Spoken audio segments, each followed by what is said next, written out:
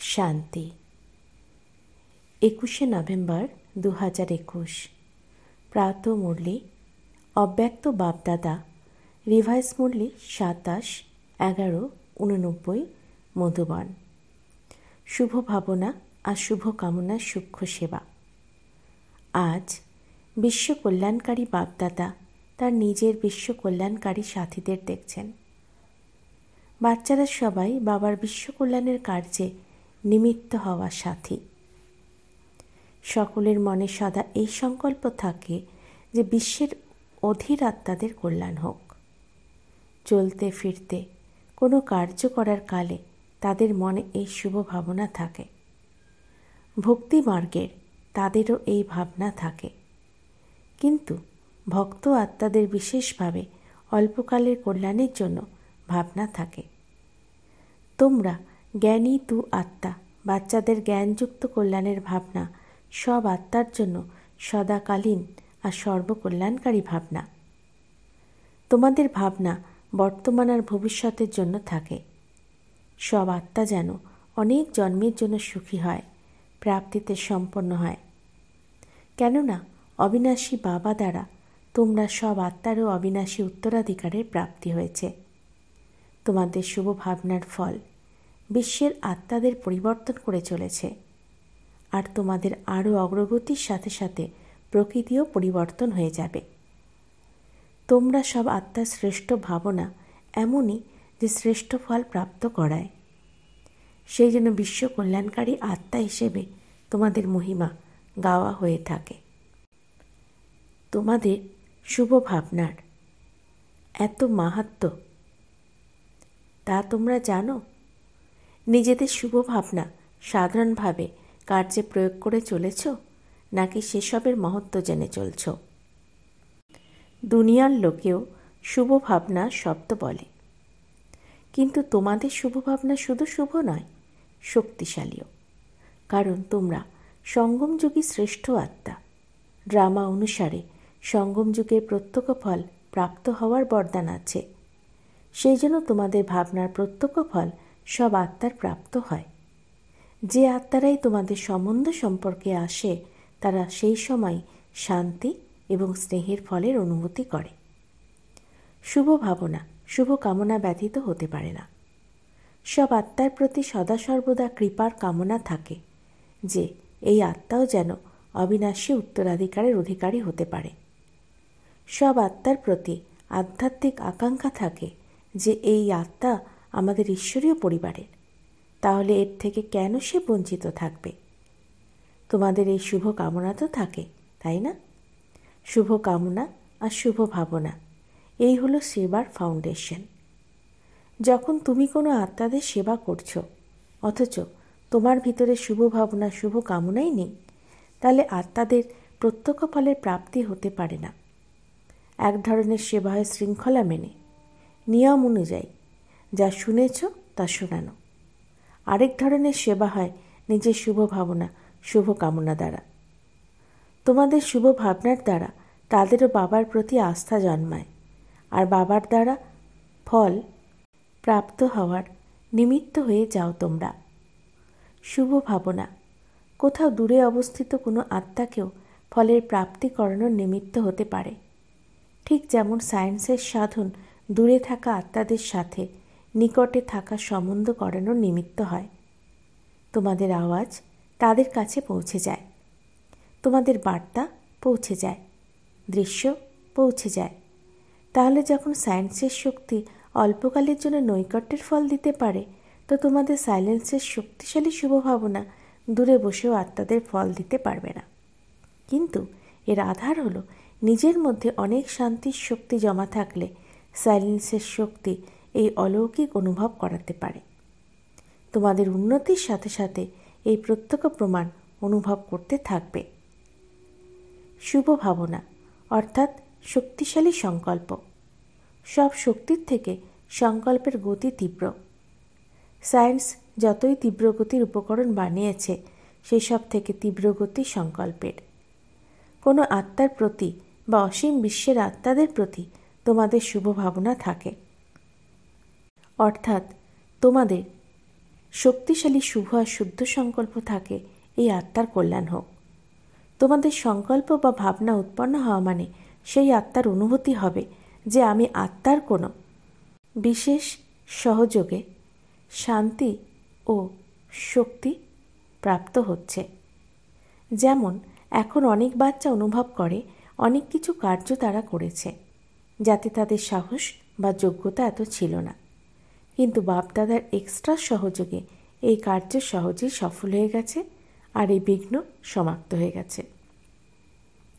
এইভাবে তোমরা সব মাস্টার বিশ্ব কল্যাণকারী আত্মার সূক্ষ্ম সেবা প্রত্যক্ষ রূপে অনুভব করবে। এতে সময় কম আর সাধনও কম, অর্থও কম লাগবে। সেজন্য মন আর বুদ্ধি সদা ফ্রি থাকতে হবে। ছোট ছোট বিষয়ে মন আর বুদ্ধিকে খুব বিজি রাখো। সেজন্য সেবার সূক্ষ্ম গতির লাইন ক্লিয়ার থাকে না। সাধারণ বিষয়েও তোমাদের মন আর বুদ্ধির লাইন অনেকভাবে এনগেজ রাখো। সেই কারণে এই সূক্ষ্ম সেবা তীব্র গতিতে চলছে না। তার জন্য বিশেষ অ্যাটেনশন একান্ত আর একাগ্রতা।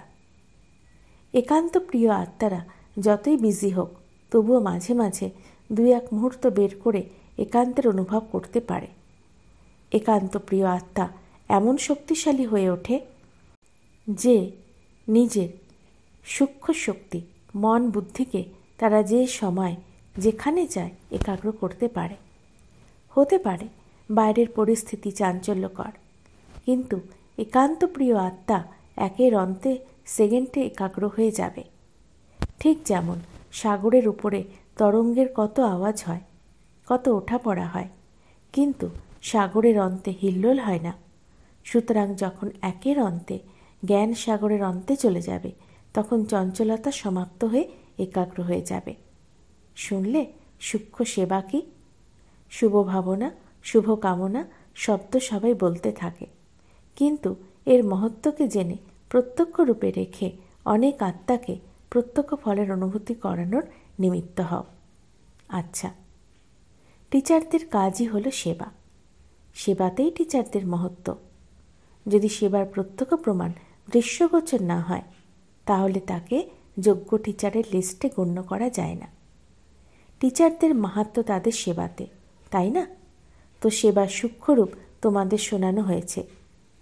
মুখের সেবা তো তোমরা সবসময় করো, কিন্তু সাথে সাথে মুখ আর মনের শুভ ভাবনা সেবা কার্যত হওয়া প্রয়োজন।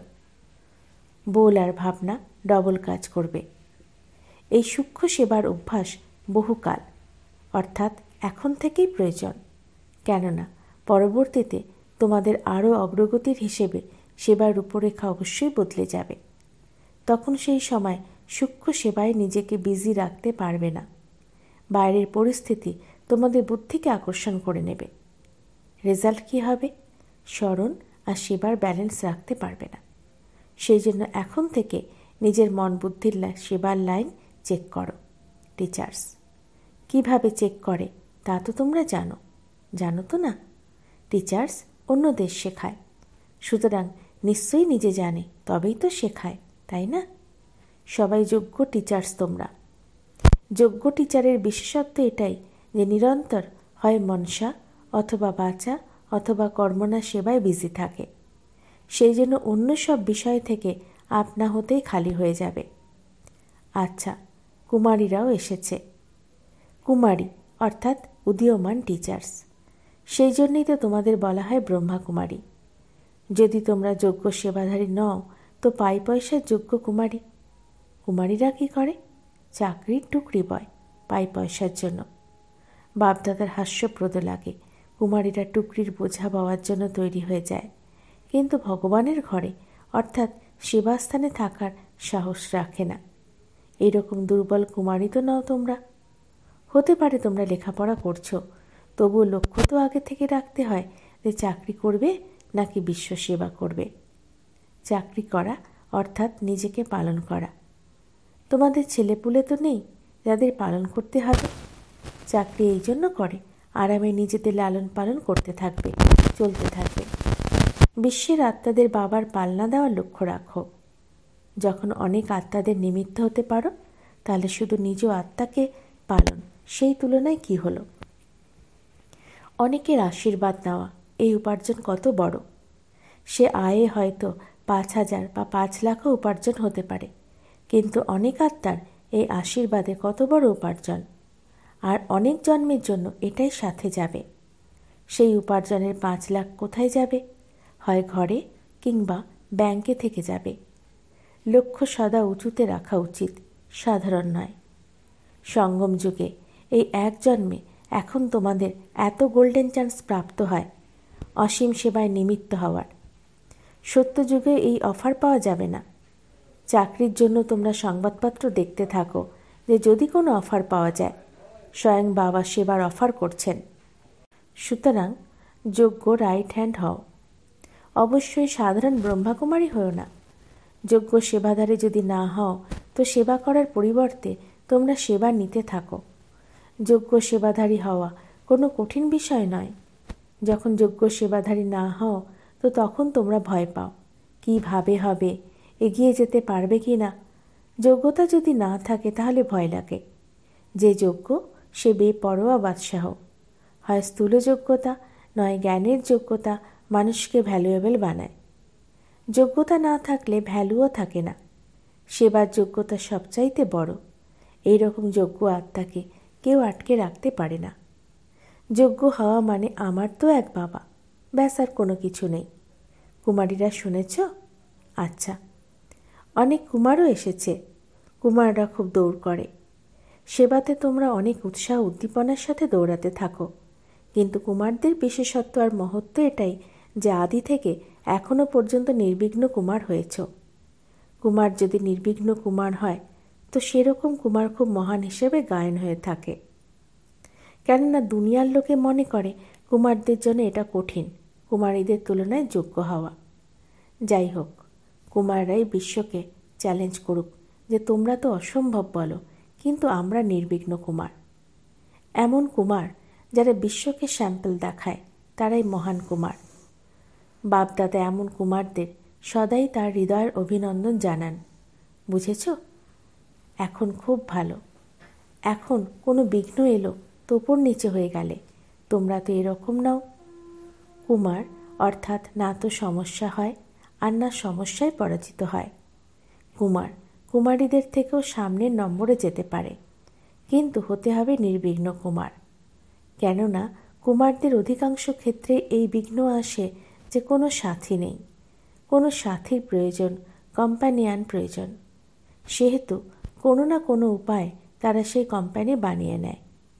কোনো কোনো কুমার কোম্পানিয়ান তৈরিও করে নেয়। কেউ আবার কোম্পানিতে আসে, কথাবার্তা বলা, ওঠা বসা, তারপর তাদের মনে কোম্পানিয়ান বানানোর সংকল্প আসে। কিন্তু এমন কুমারও আছে যারা বাবা ব্যতীত না অন্য কোম্পানি বানায়, না কোম্পানিয়ান বানায়। সদা বাবার কোম্পানিতে থাকা কুমার সর্বদা খুশি থাকে। তাহলে তোমরা কোন কুমার? একটু আত্রু কোম্পানি কি তোমাদের চাই? পুরো পরিবার তোমাদের কোম্পানি কি? তবে তো ঠিকই আছে। কিন্তু দুই তিনজন বা কোনো এক বিশেষ কোনো কোম্পানি প্রয়োজন হলে সেটা রং। তাহলে তোমরা কারা? তোমরা নির্বিঘ্ন, তাই না? নতুন কুমাররাও চমৎকার করে দেখাবে। শেষমেশ তো তোমাদের নিজেদের সামনে, বাবার সামনে বিশ্বকে ঝুঁকাতে হবে। সুতরাং এই চমৎকার কুমারদের বিশ্বকে তারা ঝুঁকাবে। বিশ্ব তোমাদের গুণগান করবে, চমৎকারিত্ব কুমারদের। কুমারীদের মেজরিটি তবুও সেবার কোম্পানিতে থাকে, কিন্তু কুমারদের কোম্পানির সংকল্প একটু আধটু আসে। পাণ্ডব ভবন বানিয়ে তোমরা নিজেদেরকে সেফ রেখেছ, এইরকম করে দেখাও। কিন্তু আজ পাণ্ডব ভবন বানাও, আর কাল এক পাণ্ডব ইস্টে চলে গেল, আরেকজন ওয়েস্টে চলে গেল, এমন পাণ্ডব ভবন বানিও না। বাপদাদা কুমারদের জন্য বিশেষ গর্বিত। তারা একলা থেকেও পুরুষার্থে এগিয়ে চলেছে। কুমাররা নিজেদের মধ্যে। দু তিন কুমার সাথী হয়ে তো চলতে পারো। কেবল ফিমেল সাথী প্রয়োজন কেন হবে? দুই কুমারও সাথী হয়ে চলতে পারো। কেবল ফিমেল সাথী প্রয়োজন কেন হবে? দুই কুমারও তো একসাথে থাকতে পারে। কিন্তু একে অপরের নির্বিঘ্ন সাথী হয়ে থাকতে হবে। এখনও পর্যন্ত সেই আশ্চর্য কেউ দেখাওনি। সময়কালে একে অন্যের সহযোগী যদি হও, তো কী না হতে পারে? আরও অনেক কিছুই চলে আসে। তাই বাপদাদা পাণ্ডব ভবন বানানোর জন্য মানা করছেন। কিন্তু কেউ তো স্যাম্পেল হয়ে দেখাতে পারে। এমন নয় যে পাণ্ডব ভবন বানিয়ে তারপর যে নিমিত্ত দাদা, দিদিরা আছেন, তাদের টাইম নিতে আসবে। নির্বিঘ্ন হও। পরস্পর পরস্পরের থেকে যোগ্য কুমার হও। তারপর দেখো তোমাদের নাম কত গৌরবান্বিত হয়। শুনেছ, কুমাররা? যোগ্য কুমার হও, নির্বিঘ্ন কুমার হও।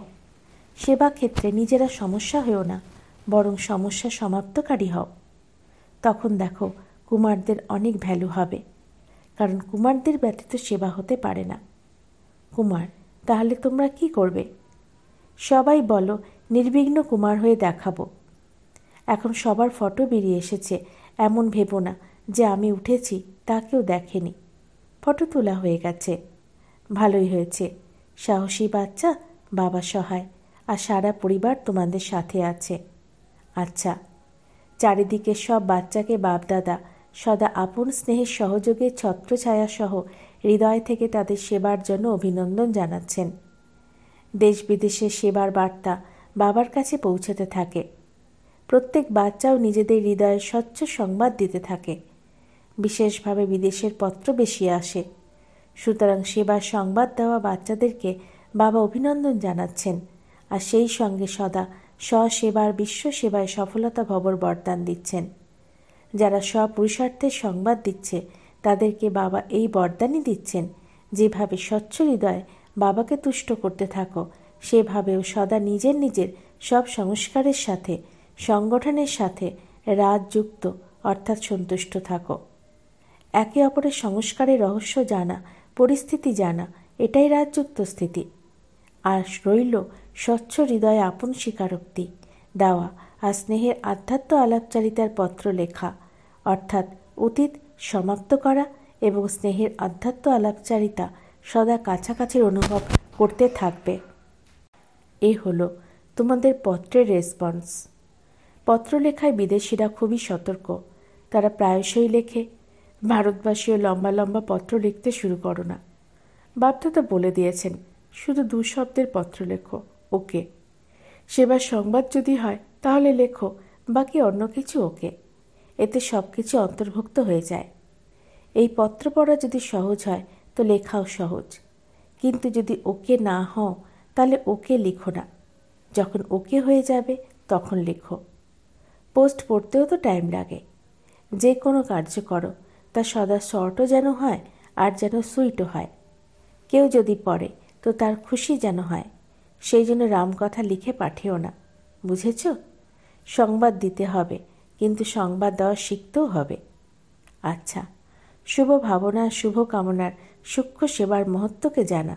সকল মহান আত্মাকে বাপদাদার স্মরণ স্নেহ আর নমস্কার। বরদান নিজের পরিবর্তন দ্বারা নিরন্তর বিজয়ের অনুভূতি করে প্রকৃত সেবাধারী ভব।